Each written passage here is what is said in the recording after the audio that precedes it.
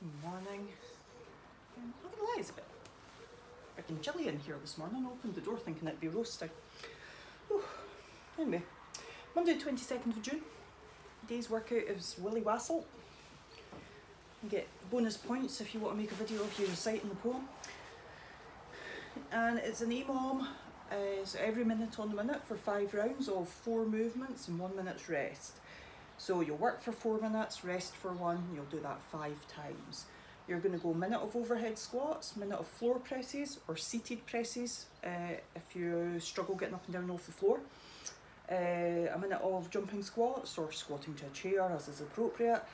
And then a minute of ab mat sit-ups or seated knee tucks again if you struggle getting up and down off the floor. then one minute's rest.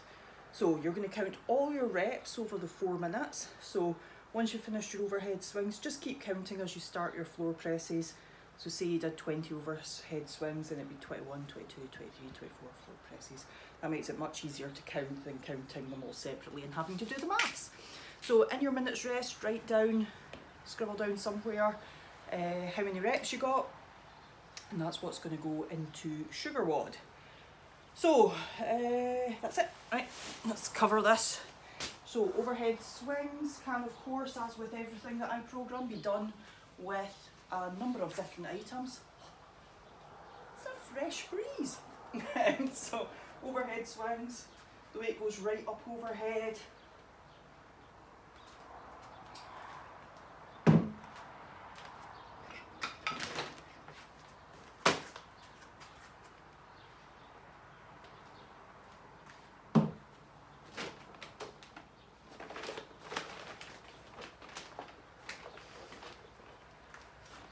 And so on. So anything that you can hold in your hands and that you can swing up overhead safely, you can use. For the floor presses, you can use one or two weights. Uh, let's, let's go with these two. Okay, so, oh god, sorry, can't see me. I know I've got a weird setup this morning for some reason. So I'll show you this and the ab mat sit-ups while I'm down here.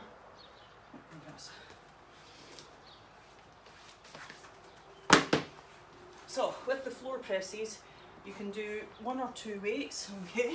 So if you've got two dumbbells, they go at the same time together.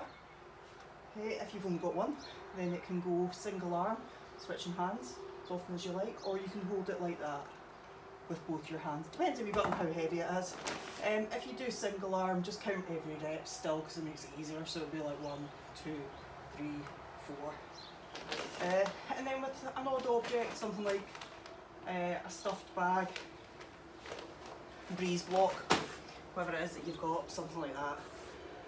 Uh, then for the ab mat sit-ups, your ab mat goes right in next to your butt. Sit with the soles of your feet together. Have the ab mat wedged in next to your butt. Don't worry, I'm going to talk about if you don't have one in a second. Not a butt.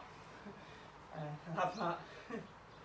um, all the way back, touch the ground behind your head.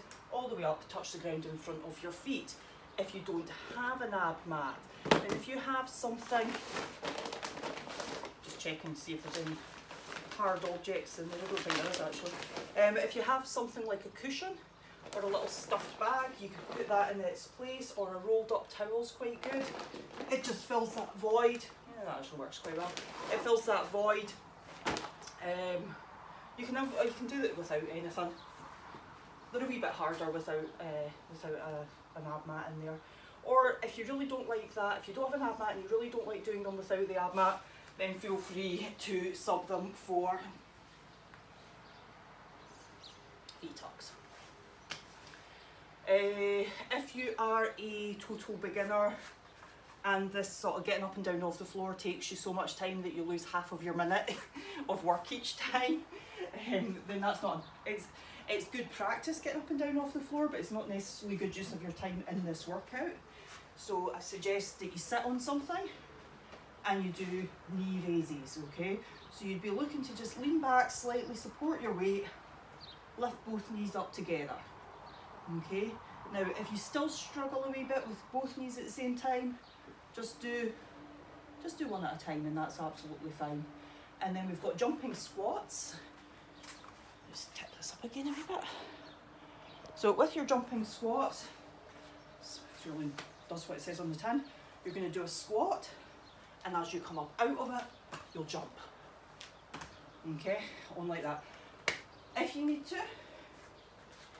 then you can use a chair to sit on, okay, where you stand and if you can, do your little jump, okay, before going back down. Now you can either sit, stand, don't have to do the jump, remember, or you can just tap your butt off uh, your chair and stand. So remember with your squats, if you've been doing this for quite a while now, you're wanting to try and progress them on away from the chair, okay? So a workout like this is actually quite good for that because you're not having to do a set number of reps. You're just doing as many reps as you can during that minute.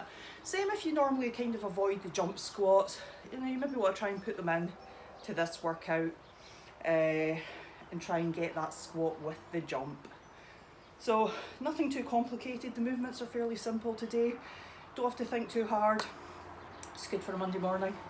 Um, shouldn't get too hot today, they're doing your workouts, so that's a, that is a bonus. That's it.